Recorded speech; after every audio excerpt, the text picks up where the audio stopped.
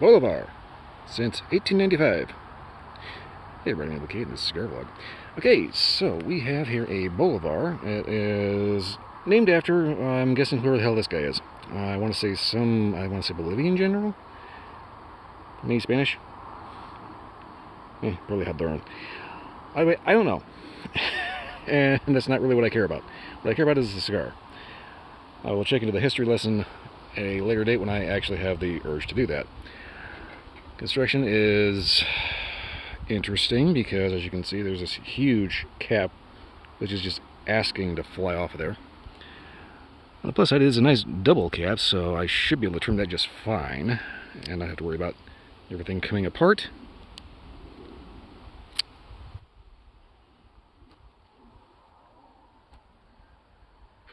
Yeah. See if maybe I can get that a little better.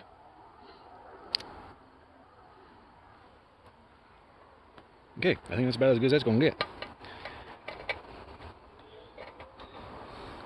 So I imagine that since this is, okay, since it says since 1895, there's probably a reason why they've been around that long. Which means hopefully this is a gem, instead of just somebody put it out there because the government told them to.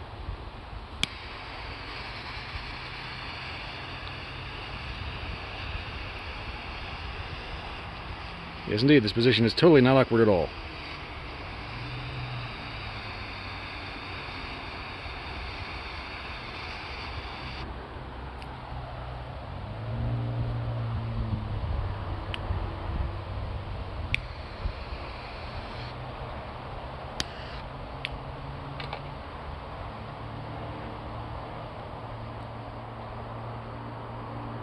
Straight away, very heavy coffee hit.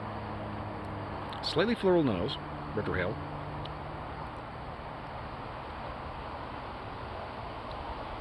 I'm not going to say there's any spice.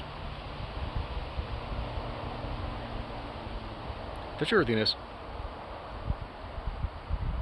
Overall, good start. Okay, so I'm going to go ahead and uh, get this uh, going here. Maybe see if there's anything in the light wise I can fix. I don't. I don't think I should. I think everything looks alright to me. What do you think? Good? Yeah? Maybe? Maybe. I'm gonna get this down to the first inch and see if anything wakes up. Yeah, yeah, yeah. You believe that? You believe this? Some government goon come down here, put this big ass graffiti all the way down. He said, This is why we can't have anything nice. Okay, so anyway. About an inch in. I've been noticing there's not really a spice, like pecan spice or anything like that. It's more like a very strong baking spice. You get a kind of cinnamon, nutmeg kind of deal. So it's striking me as very coffee heavy, which is definitely not a bad thing. Gotta love the tunnel. On a side note, uh, the restaurants over here have been going completely banana sandwich, so all I've been smelling has been seasoned fries and ribeye steak. And it's like, mmm! Oh, really, what do you make, it? Okay. But we have a very aromatic cigar that is uh, definitely shaping up to be quite good.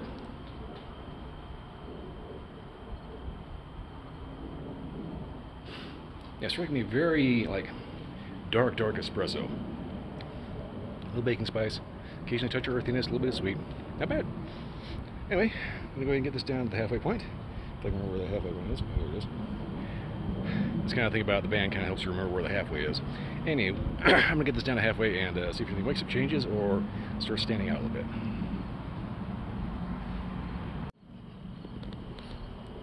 Okay, at the halfway point. Hopefully I'm not gonna get run by a bicyclist.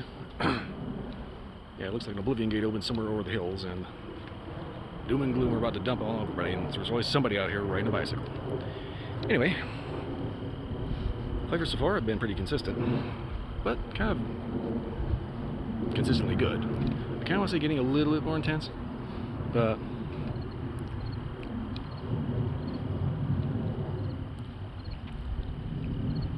it's kind of one of those things where you let a puff go for a little while and you end up noticing more flavors as it uh, finishes off. There is a little bit of a sweetness that gets you in the back of the throat that kind of builds as you smoke, which is nice. So, So far, I can pretty safely say that uh, this is pretty much tasting like what you would expect a classic cigar to taste like. Strong espresso notes, touch of earthiness, occasionally a little bit of a sweet note that kind of builds in, baking spice. Overall, very nice. It also kind of dawned on me that uh, this might actually be a Bolivar Maduro because it's very obviously a very dark Maduro wrapper.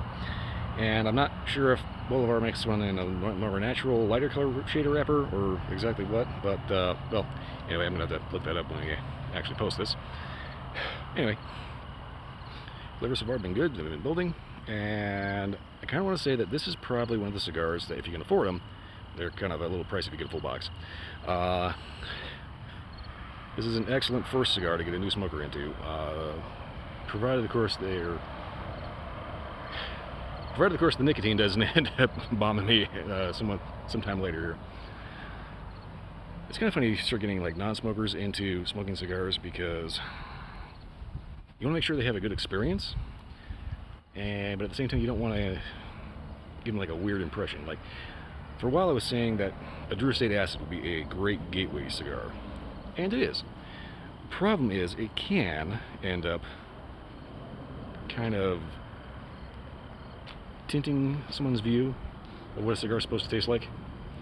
Because if you've ever had a Drew Estate Acid, they have this very kind of floral, potpourri, magic kind of taste to them. And that's peculiar only to them. So, well, it's a good starter.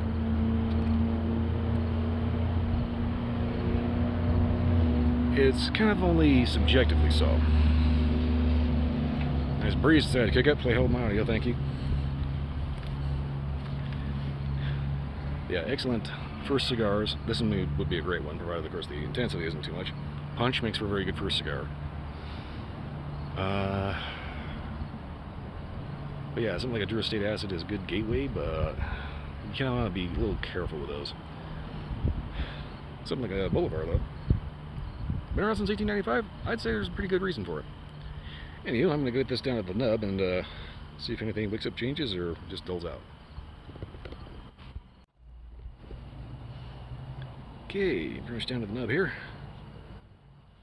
A little bit of a breeze, I'm kind of thinking that maybe caused for a few slight issues with uh, the burn. Otherwise, I think quick touch up here and there can't fix. Flavors have been pretty consistent throughout. Uh, slight build, not anything too major. But overall,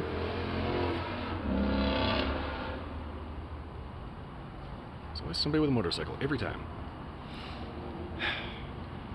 At least it's not the other guy that was, I think, in a tuner car. That thing was loud. Also had a nice little backfire. Anyway, flavor profile been very, very coffee heavy. Very much classic cigar. Very heavy coffee notes. I want to say maybe ever so a touch of kind of cocoa-ish, kind of, you know, like dark chocolatey.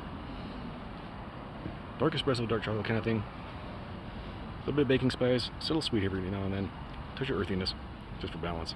Overall, this has been a lovely classic cigar.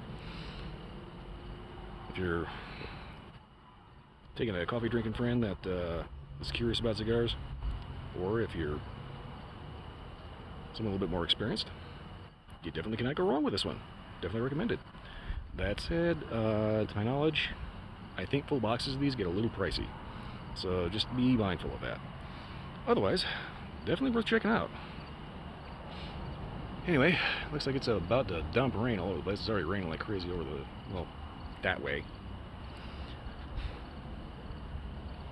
And I think everybody at the restaurant has stopped frying the, you know, the fries and the steaks and all that, so I think it's about ready to wrap this up and go in. Anyway, not much else to say about this one than check it out if you can, if you get, if the price isn't too dear. Eventually, I'll figure out what I'm trying to say. Anyway, if you like this review and any other review, like, subscribe, leave a comment, let me know get a different experience. Beyond that, check out my Twitch stream Sunday to, try, uh, Sunday to Friday night, 10 to 2 a.m. Yeah. Oh, almost forgot drink pairings. Coffee, whiskey, pretty standard. Anything you classically pair with a cigar. Alright. So, that's it. That's it. Yep, that's it. Nothing else to say. I'll see you next time.